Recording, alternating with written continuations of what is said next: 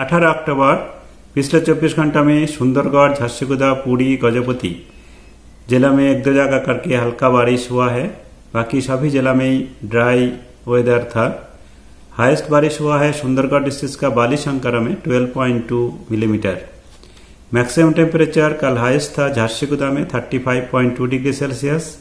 आज minimum temperature lowest था फुलवानी में 18.0 डिग्री सेल्सियस। हमारा भुवनेश्वर सिटी में कल मैक्सिमम टेम्परेचर था 33.7 डिग्री सेल्सियस।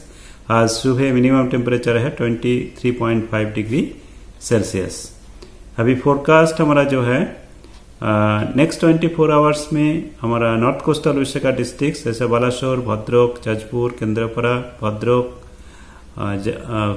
जगत सिंहपुर कटक और सुंदरगढ़, देवगढ़, केउंझर, मयूरभंज गजपति गंजाम कंधमाल, रायगढ़। ये सब डिस्ट्रिक्ट के अंदर में एक दो जगह करके बारिश का पॉसिबिलिटी है। और बाकी जिला में ड्राई वेदर रहने का ही ज़्यादा पॉसिबिलिटी है। फिर कल भी हमारा कुछ डिस्ट्रिक्ट का अंदर में एक दो जगह करके हल्का बारिश का पॉसिबिलिटी है, जैसे मालकानगिरी, कोरापुट, रायगढ़, गजपति, गंजाम केउंझर मयूरभंज, बालासोर। और ट्वेंटी से ट्वेंटी सेकेंड तक मीन्स बीस अक्टूबर से ट्वेंटी बाईस अक्टूबर तक, सभी जिला में ड्राई वेदर रहने का ही संभावना है। तेईस, छब्बीस अक्टूबर में कोस्टल का डिस्ट्रिक्ट में एक दो जगह करके बारिश हो सकता है। अभी मैक्सिमम टेम्परेचर व डे टेम्परेचर में और मिनिमम टेम्परेचर में भी हमारा ज़्यादा चेंजेस होने का पॉसिबिलिटी नहीं है।